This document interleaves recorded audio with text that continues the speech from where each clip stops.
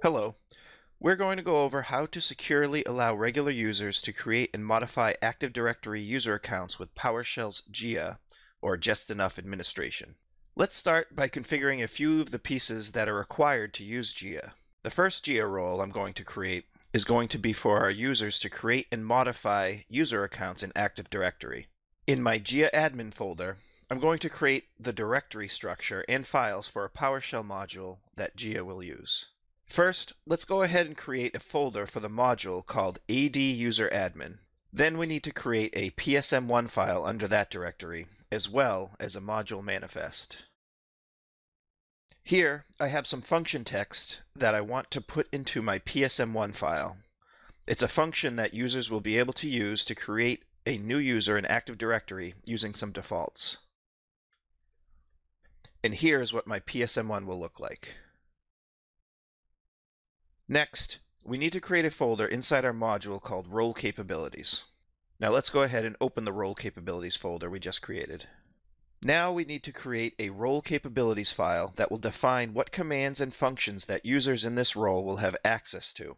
Here, I'm using parameter splatting to define the path of my Role Capabilities file. Then, I'm specifying to import the Active Directory PowerShell module, since we will be using some of the commands from that module. Next, for visible commandlets, I'm specifying new AD user, get AD user, set AD user, remove AD user, and convert to secure string. And finally, for visible functions, I'm going to specify the new user function that I showed you earlier so that users will have access to run it. Now let's go ahead and run the code to create the role capabilities file.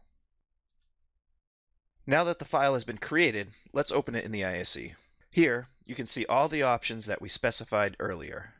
The next piece we need to configure JEA is to create a PS session configuration file. This file will define the PowerShell endpoint that users will connect to in order to perform the actions they need. Here, I'm using splatting again to define my parameters. The session type is going to be restricted remote server, and I'm setting run as virtual account to true. You will also notice that there is a scripts to process parameter. If we didn't want to put the new user function in the module we just created, we could alternatively add that function to a PS1 script file and save it somewhere on the remote server. Then we would put the path to that PS1 in the scripts to process parameter to load that function into memory when a user connects to this endpoint. And finally, for role definitions, I need to use a hash table to define which users or groups have access to connect to this endpoint and once they are connected, what role capabilities they will have. For this demo, I'm specifying an account called JEA Admin, which will have a role capability of AD User Admin, which we created earlier. Now let's go ahead and create the session configuration file. Next, I'll run test ps session configuration file to verify that the session configuration file contains valid keys and valid values. If everything looks good, it should return true. Now let's open the session configuration file to take a look. You can see that all the values I specified have been configured. Now that we have all the files we need, let's go ahead and set up the new endpoint on the domain controller. First, I'll create a new session to the prod DC server. Next, I need to copy the AD user admin folder to the modules folder on the remote server. Then, I'm going to copy the session configuration file to the root of C on the remote server. Before I create my new endpoint, let's go ahead and run get ps session configuration on the remote server.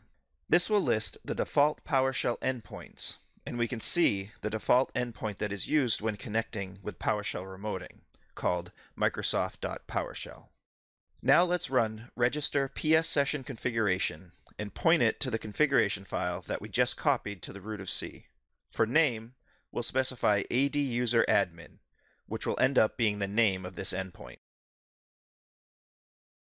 If you're running this command remotely like I am, you may get an error here since registering an endpoint will restart the WinRM service, which will close any remote sessions that are currently open. However, if we run get ps session configuration again, you'll see that our new AD user admin endpoint has been created. allowing access to the JEA admin account. Now let's go ahead and create a credential object for my JEA admin user and connect to the remote server. You'll notice that for enter PS session, I'm also specifying a configuration name. This is the name of the endpoint that I would like to connect to. Now that I'm connected to the server, if I run get command, you can see that I only have a small subset of commands available to me. There are some default commands that are always available like get command, get help, etc.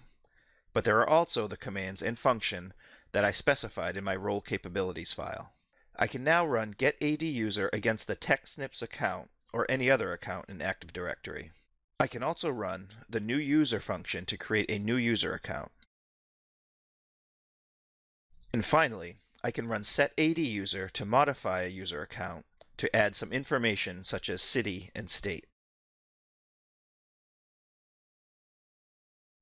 Next, I want to create another endpoint, except I don't want to give access to the user to create accounts, only modify accounts. I've already changed to my JEA update directory to build my new module. I'm going to go through the same steps as before, but with a few changes.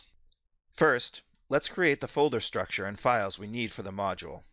I'm calling this module AD User Update. This time when I create my role capabilities file, I'm only going to specify get AD user and set AD user as the visible commandlets. When I open the role capabilities file, you can see the visible commandlets that were specified. Now I'll create a PS session configuration file giving the JEA update user access to the AD user update role. Then I'll test the configuration file to make sure that it is valid. Now let's open it to verify the role definitions. Now we can move on to creating the endpoint. To save time, let's just connect to the remote server and copy the module and session configuration file. When I run get PS session configuration, we can see that I currently have one custom endpoint for my AD user admin. Now let's create a new endpoint called AD user update and point it to the new session configuration file we just created. Let's run get PS session configuration again and now we can see both the AD user admin and AD user update endpoints. Now I'll connect to the new endpoint on the remote server as the JEA update user to try it out. When I run get command, you'll notice that we only have access to get AD user and set AD user. If I try to run the new user command, I get an error because we never added that function to this JEA configuration. However, I can run get AD user to get the new user we just created. And I can also run set AD user to modify the user account and change the city and state to Providence, Rhode Island.